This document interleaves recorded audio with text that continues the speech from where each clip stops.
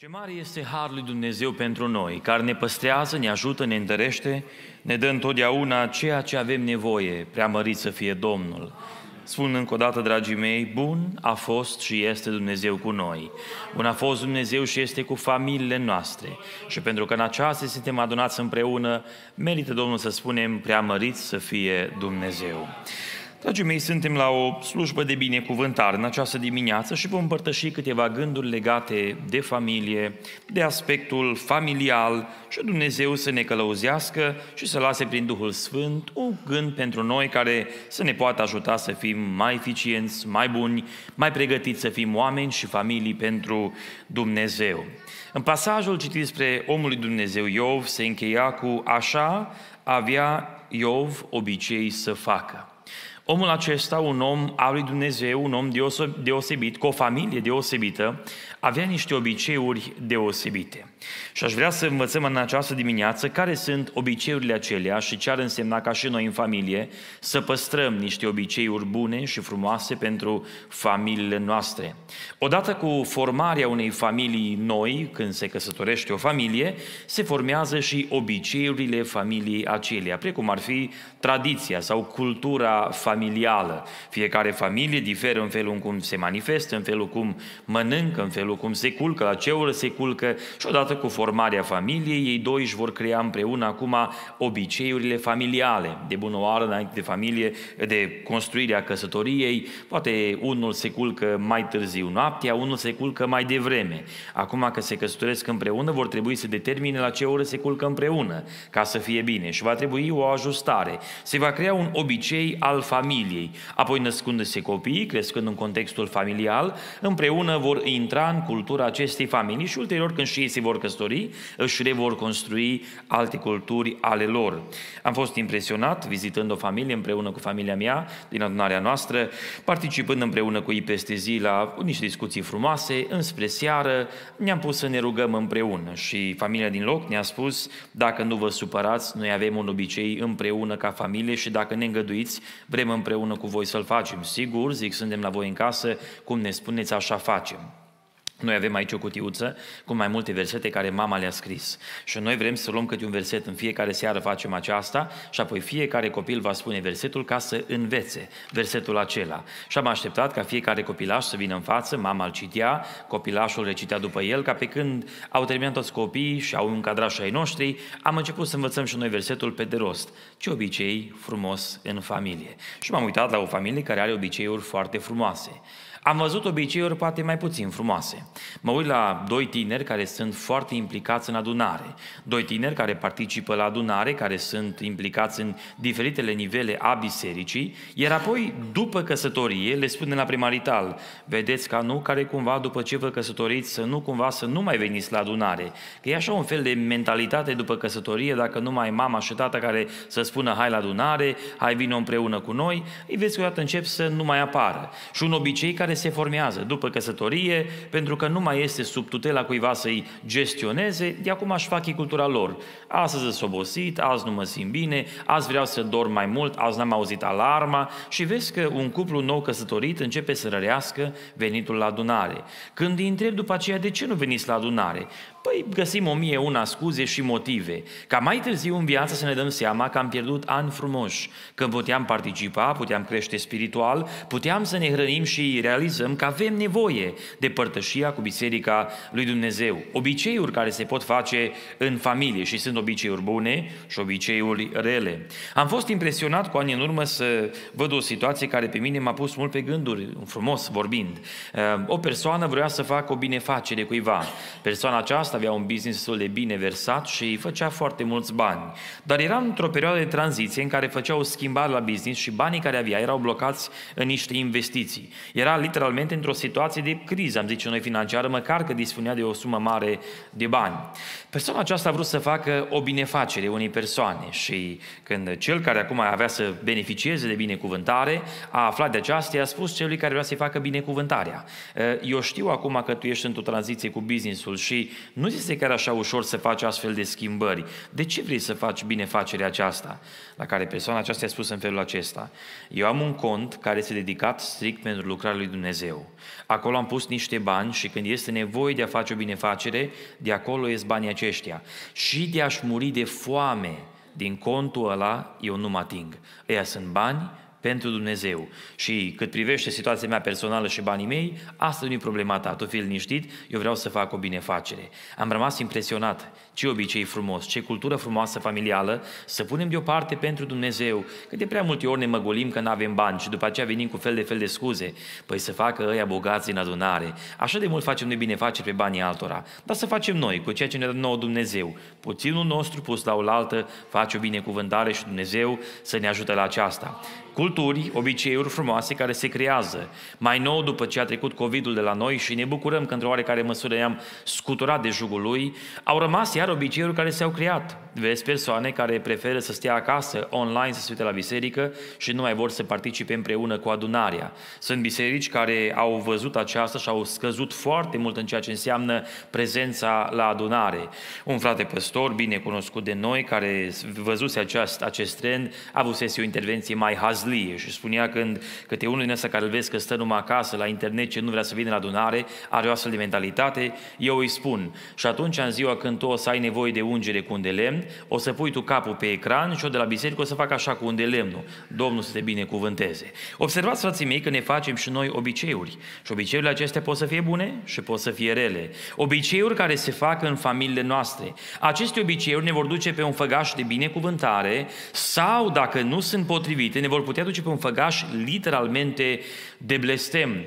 Ca să nu mai spunem că suntem foarte mulți și variați în gândirile noastre. Nu gândim toți la fel, nu avem uniformitate în gândire și nu este rău numai decât că nu suntem uniformi. Dumnezeu a binecuvântat unitate în diversitatea bisericii, dar cât privește principiile lui Dumnezeu, aici nu putem vorbi despre diversitate. Suntem toți ai lui Dumnezeu, slujim un singur Dumnezeu și acest Dumnezeu are un singur standard de trăire și Dumnezeu să ne ajute să-L urmăm ca atare. Aici nu putem să spunem că mie nu-mi place stilul de pocăință cum îl are biserica, mie nu-mi place stilul de închinare cum îl are biserica. Aici vorbim despre ceea ce vrea Biblia, dragii mei, și nu ce vreau eu. Că după aceea noi mâncăm sarmale sau unii mănâncă omletă. Cum auzim, că în, într-o zonă în România se mănâncă sarmale dimineața la breakfast. Asta este o modalitate de obicei familial. Poate unul nu poate să sufere chiar așa ceva la breakfast, dar unii mănâncă. Alții mănâncă alte lucruri, alții încep cu slănina dimineața. Este un obicei familial.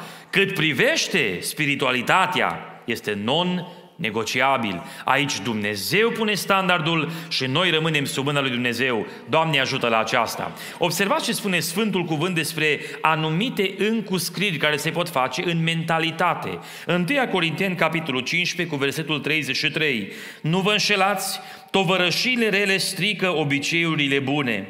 Veniți-vă în fire, cum se cuvine, și nu păcătuiți, căci sunt între voi unii care nu cunosc pe Dumnezeu. Spre rușinea voastră, o spun.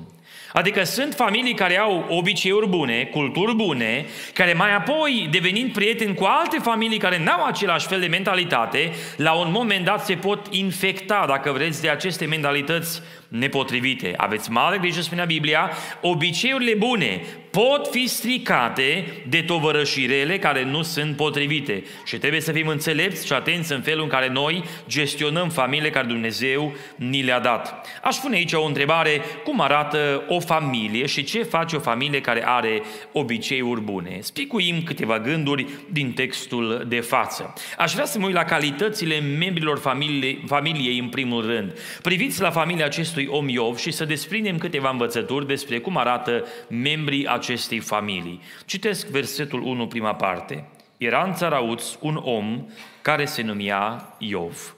Mă opresc aici, dragii mei. Cât de important este să fim oameni. Spunea cuvântul lui Dumnezeu în Cartea Corinteni, fiți oameni. Este important să fim oameni. Asta înseamnă să ai caracter. Trăim o vreme de criză acută de caracter. Sunt persoane care nu au cuvânt. Am să vin în 5 minute și după 15 minute spune am să vin în 5 minute. Ori ceasul meu nu merge, ori n-am învățat eu bine la școală, dar mi se pare că ale tale 5 minute au un timp de măsurat foarte diferit de al meu. Am să vin mâine și vine săptămâna viitoare și nu vine. Să fim oameni de caracter. Facem greșeli, dragii mei, este inevitabil. Dar când devine un obicei să fim oameni care nu avem caracter, este o mare problemă. Omul lui Dumnezeu Iov era un om. Și membrii acestei familii erau oameni de caracter. Se insinuează aceasta prin faptul că omul acesta, tatăl familiei, era un om. Era un om cu vază, văzut bine și era un om care avea un caracter nobil. Mi-aș dori ca toți care suntem în adunare să fim oameni de caracter. Să fim oameni care să avem un cuvânt greu în societate. Ori de câte ori vorbim oamenii să ne vadă că suntem oameni de caracter. Un om de caracter se vede prin faptul că vorbește puțin și nu vorbește foarte mult. Știți când ascultă oamenii ce ai de spus? Când vorbești ce trebuie, la timp și doar atât. Când te bagi în vorbele oamenilor, când râzi cu oamenii, când glumești peste măsură, când vorbește, nu te mai poți opri, la un moment dat oamenii spun să vorbește prea mult. N-am mai avem ce asculta, că atâtea spune încât nu mai putem, nu avem timp să mai filtrăm toate cuvintele, nu mai ascultăm. Și atunci când ai și tu o opinie, nu te bagă nimeni în seamă. Stă câte unul care arare ori vorbește, îl vezi că stă tăcut. Când se ridică în picioare și spune câte un cuvânt, toți ascultă. De ce? A știut să vorbească la momentul potrivit și cuvântul atunci are greutate ca să nu mai spun, cuvintele noastre să fie drese cu sare, să fie cuvinte cu înțelepciune, din cuvântul lui Dumnezeu, cu greutate spirituală și atunci, astfel de oameni când vorbesc, sunt ascultați de alți oameni. În primul rând, familia cu obiceiuri bune este o familie compusă cu membri care au calități nobile, care au calități spirituale, oameni de caracter. Dragii mei, Copiii noștri vor învăța să fie oameni de caracter dacă noi vom fi oameni de caracter. Nu se poate ca să creștem copii de caracter câtă vreme noi suntem oameni care trăim în fel de fel de mărșeveni. Observați că dacă eu îi spun copilului meu că mâine o să-ți cumpăr jucăria și nu o cumpăr și îl minte față, Copilul meu va învăța că minciuna este acceptabilă, tacit, fără să-i spun eu aceasta. În ziua când mă va minți pe mine și o strig la el, cum ți-ai permis să mă minți tu să faci așa ceva? În mintea lui se face un scurt circuit. Pe cum de tata pe mine mă minte și nu-i problemă și dacă eu mint, e problemă. Pe undeva ori el greșește, ori eu greșesc, ori amândoi greșim. Și apare o problemă. Vrem să creștem copii de caracter, să fim oameni de caracter. Dumnezeu să ne ajute la aceasta. Vrem să creștem copii care în adunare să asculte cuvântul lui Dumnezeu să fim oameni care să ascultăm cuvântul lui Dumnezeu. Mă surprinde deseori când văd oameni maturi care stau în adunare pe telefoane și se uită la fel de fel de lucruri și copiii lângă ei. Și atunci te întrebi, copilul tău de lângă tine ce vede, ce exemplu primește și ne măgurim mai târziu că nu ascultă Evanghelia. Dragii mei, să fim oameni de caracter. Era în țara un om și omul acesta era Iov. Doamne, fă să fim oameni de caracter, ajută-ne la aceasta. În al doilea rând, membrii acestei familii cu obiceiuri bune, dragii mei, mai aveau o calitate, anume că aveau o calitate de neprihănire. Observați următoarea parte versetului 1. Și omul acesta era fără prihană și curat la suflet, el se temea de Dumnezeu și se abătea de la rău. Sunt surprins să văd calitățile spirituale ale acestui om. Era un om neprihănit. Noi am înlocuit cuvântul neprihănire cu cuvântul spiritualitate. El este un om foarte spiritual. Dar eu mă tem că în spatele acestui cuvânt spiritualitate se ascunde altceva. Uite la biserică ce frumos se îmbracă, uite ce frumos vorbește, uite ce frumos se prezintă. Dar când e acasă să te ferească Dumnezeu să fii pe lângă el, că este un zbir și fugi de el. Dragii mei, omul neprihănit este neprihănit și la adunare, și acasă, și la lucru, și în societate, oriunde îl întâlnești, este un om neprihănit. Adică nu fariseismul exterior, în care se observă un fel de coajă pe din afară, bine construită, bine vopsită, dar pe dinăuntru, ca și farisei, răpire, ură, toate celelalte. Dacă eu la biserică vin și spun, frate, ce mă bucur să te văd, mai ce familie frumoasă ai și mă duc acasă și cu soția, e văzut pe ea, ferească Dumnezeu. Și ce copii au ei și cum îs, păi dacă din ăștia nu este absolut nimica, copiii mei mă aud în casă.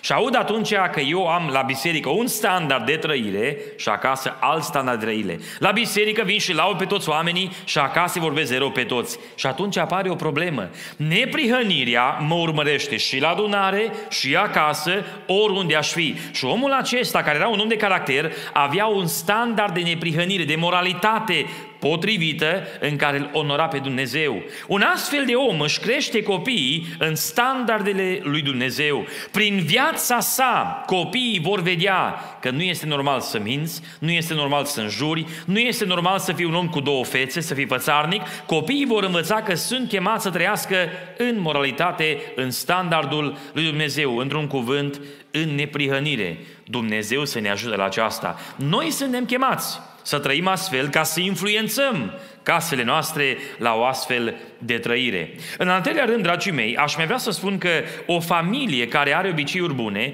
are în compoziția ei membrii cu calități deosebite, precum ar fi, valorează mai mult relațiile decât afacerile. Și eu cred că este foarte important în vremea în care noi trăim. Versetul 2 și 3.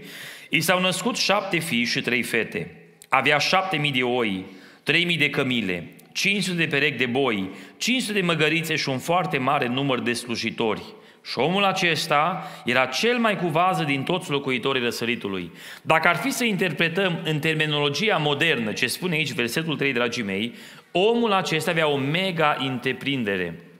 În vremea aceea să ai șapte mii de oi, asta însemna producție de lână, de lapte, de brânză care se vindea. Omul acesta hrănea pe cei din jurul lui și îmbrăca pe cei din jurul lui. Avea 3000 de cămile, făcea transport, avea șoferi care mergeau pe cămilă și transportau dintr-o parte în alta marfa lui. Omul acesta avea 500 de perechi de boi, ara câmpurile și avea aici o industrie deosebită pentru agricultură. Omul acesta avea 500 de măgărițe și avea un număr foarte mare de slujitori. Gândiți-vă ce mega întreprindere avea Iov.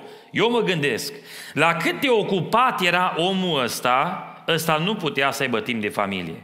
Păi un om care face așa un business, el luptă zi lumină, muncește zi lumină, ca într-o zi să iasă la pensie și după aceea, când e bătrân, să se bucure și el de familia sa. Omul ăsta nu putea să aibă timp de familie.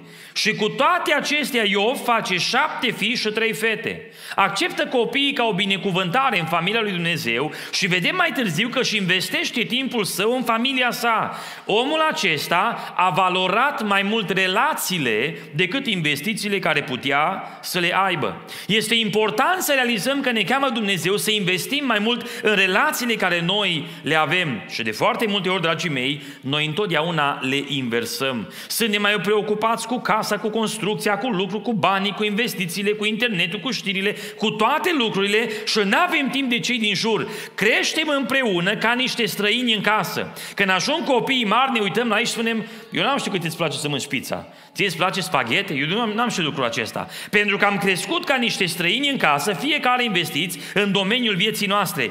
Oamenii aceștia care aveau obiceiuri bune, ca și calitate în primul rând, investeau mai mult în relațiile familiale decât investeau în ceea ce însemna viața pământească. Și bine ar fi dacă împreună, ca și familii, am investit mai mult în relațiile din familie. Vă spunem acest exemplu cu mai mult timp în urmă și mă repet în această dimineață. În partea Moldovei, la un moment dat, frații fiind mai mulți din cultul pentecostal, au stabilit ca să se ocupe ei de școală, școala publică care era în România și se predea religie. Au avut acord din partea celor de la stat și au predat ei religie în școală. Venind frații de la biserică să predea religia, au observat că un băiat a fraților fugea deseori de la clasă, sărea pe geam și fugea. Și fratele m-au dat foarte perplex și s-au dus la familia acasă să vorbească cu părinții ce se întâmplă. Fratele, tatăl copilului, era un om de business cu foarte mulți bani. Au venit frații păstori și au să de vorbă cu fratele. Frate, avem o întrebare.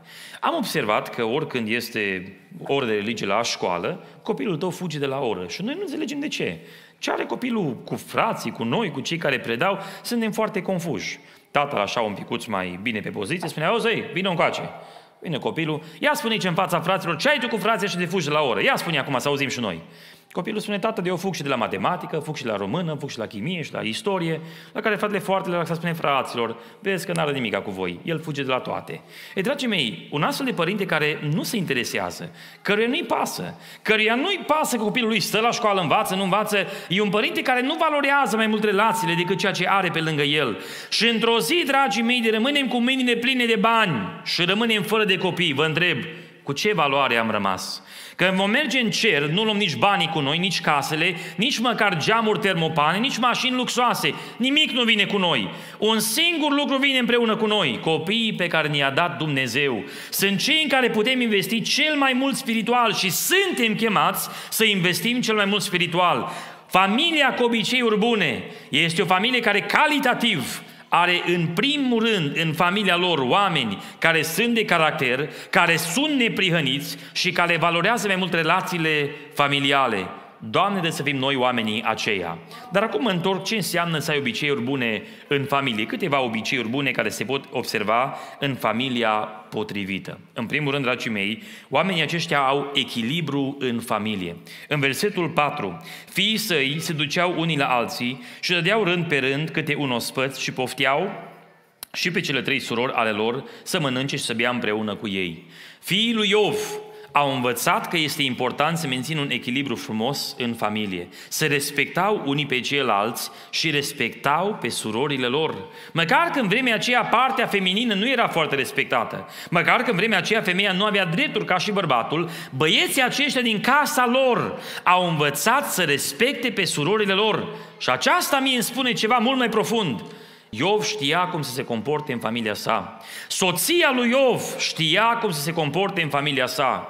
Pentru că Dumnezeu a scris în 1 Corinteni că Dumnezeu este capul lui Hristos. Hristos este capul bărbatului. Bărbatul este capul femeii și implicit părinții sunt autoritatea copiilor. Este o ierarhie lăsată de Dumnezeu.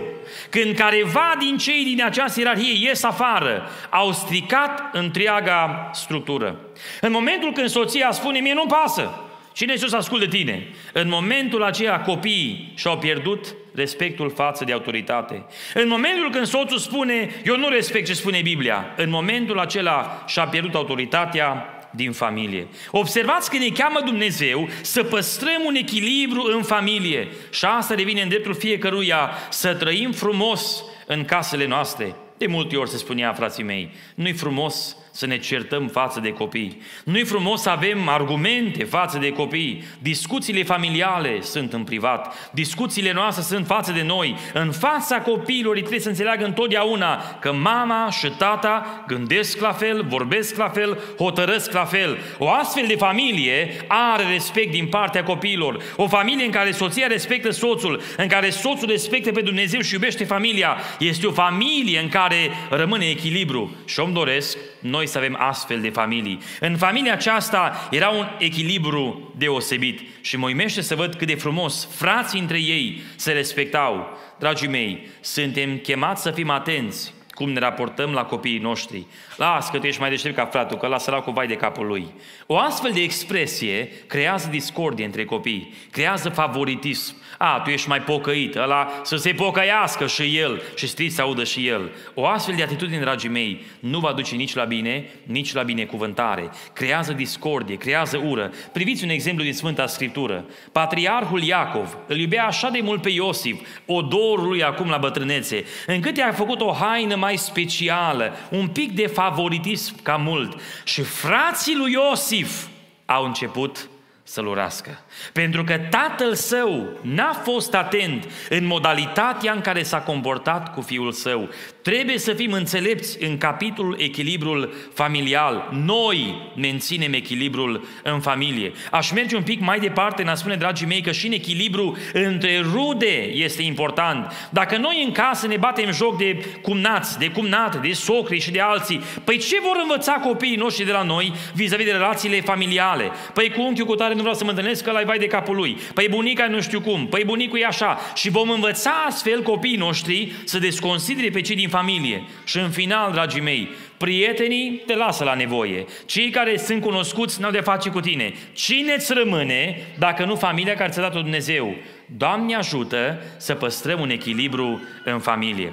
Familia cu obiceiuri bune mai are un obicei, dragii mei, anume curăție morală. Fac curăție morală în casă și mențin această curăție în familie. Versetul 5. Și după ce treceau zile de ospăți, Iov chema și sfințea pe fiii săi. Se scula dis de dimineață și aducea pentru fiecare din ei câte o ardere de tot, că zicea Iov, poate că fiii mei au păcătuit și au supărat pe Dumnezeu în inima lor. Ei, dragii mei, observați ce avea Iov Iov obicei să facă? În fiecare dimineață se scula și făcea această lucrare. După ce trecea un ospăț, mai ales, vrea să asigure că nu cumva copiii lui au supărat pe Dumnezeu. Și pentru fiecare din ei aducea o jerfă. Asta mie îmi spune că Iov își lua timp să stea împreună cu fiecare copil. El vrea să sigure că fiecare copil trăiește bine. Dacă mă uit la o poză și în ansamblu totul este bine, dar undeva a fost o pată, eu așa prin mintea mea, cum lucrează ochii, filtrez pata aia și văd poza frumoasă.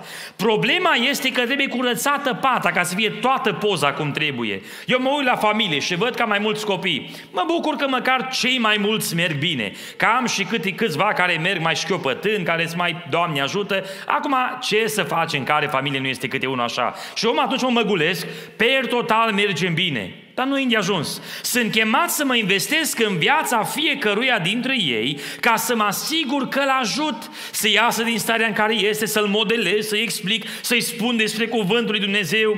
Câți copii n-au nevoie să li se explice cuvântul Domnului, dragii mei? Nu de către păstor, de către tații lor în familie, de către mamele lor care veghează asupra caselor lor. Părinții sunt prima linie de apărare, apoi vine biserica, apoi vin slujitorii. Până ajunge la păstor, pastor, el trebuie de acasă să fie educat, să știe cine e Dumnezeu, cine e Domnul Hristos, cine a fost apostolii. Vorbești cu de unul și îi spui, păi uite, asta scrie în Biblie. Aia scrie în Biblie?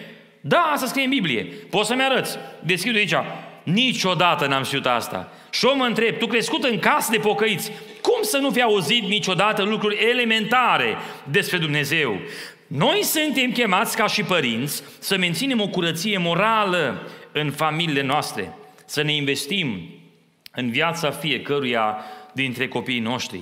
Și asta costă timp, dragii mei. Asta nu-ți mai dă timp să stai la filme, să stai la plecări, la plimbări, la fishing și la alte lucruri. Asta necesită timp. Și asta înseamnă ca și părinte să-mi fac timp. Că în final mă, mă repet, dacă investesc în toate astea și mă duc la Domnul și nu vin cu mine, ce contează dacă îmi pierd copiii în care eram chemat să investesc cel mai mult? Și în ultimul rând, dragii mei, obiceiuri frumoase, văzute în familie care are obiceiuri bune, sunt obiceiurile care dau naștere la supraveghere familială. Spune ultima parte versetului 5, Poate că fiii mei au păcătuit și au supărat pe Dumnezeu în inima lor. Observați detaliul acesta extrem de important. Iov nu spune că fiii săi au păcătuit practic vorbind, au înșelat, au înjurat, au făcut ceva nepotrivit, ci s-ar putea în inimă, în sentimente, în felul în care au raționat, în felul în care gândesc ei, s-ar putea să fi supărat pe Dumnezeu. Asta mie îmi spune că era o supraveghere familială extraordinară. M-aș repeta vis-a-vis de partea tehnologică, dragii mei. Mulțam Domnului că am avut harul să studiez și știu bine partea aceasta tehnologică. Și știu că sunt părinți, fiind poate în generația mai matură, care vor spune, noi nu știm cum e cu asta, așa că ei știu ce fac pe telefoanele lor, noi nu avem ce face. În era în care noi trăim, în anul 2022, ca părinte, n-ai dreptul să spui, eu nu știu ce face copilul. Ești chemat să știi ce face copilul tău. Și dacă nu știi cum să găsești aceasta, caută oameni de expertiză care te pot învăța, care îți pot spune ce fel de programe poți folosi ca să știi ce se întâmplă în casa ta. Pentru că de multe ori, dragii mei, moartea ne-a omorât copiii în casele noastre împărătești, nu afară pe stradă.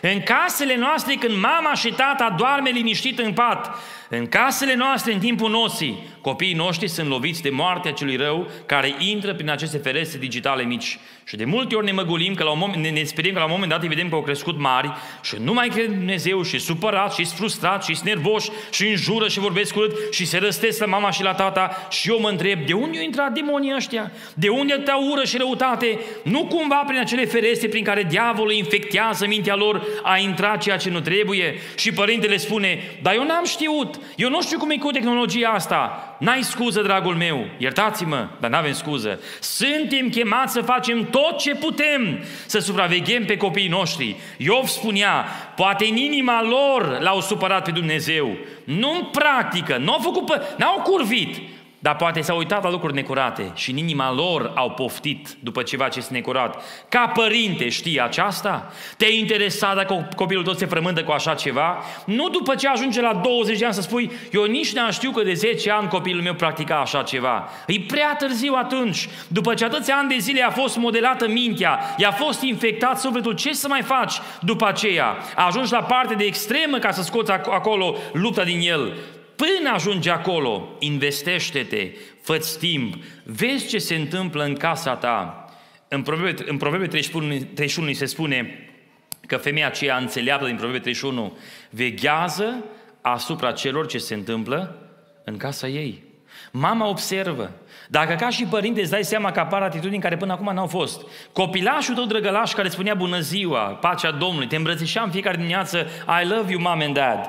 Deodată vezi că se întoarce spatele, deodată vezi că se uită foarte încruntat, e nervos în continuu. Puneți întrebarea, ce s-a întâmplat? Nu cumva tentacolele celui rău l-au atins și pe el și din cauza aceea a avut o răzbunare în ceea ce se întâmplă în viața lui, aveți grijă ca și părinți în familie și suntem chemați să veghem atenți în casele și în familiile noastre. Familia cu obiceiuri bune, dragii mei, este familia care merge merge până la capăt sub binecuvântarea lui Dumnezeu, care rămâne sub pacea și harul Domnului și familia care se investește lucrând nu pentru lumea aceasta, măcar că au și se investesc investesc, investesc cel mai mult în casa și în copiii care Dumnezeu li le-a dat. Eu mă rog Dumnezeu să ne înțelepțească la aceasta, să ne ajute la aceasta și să ne binecuvânteze la aceasta. Amin.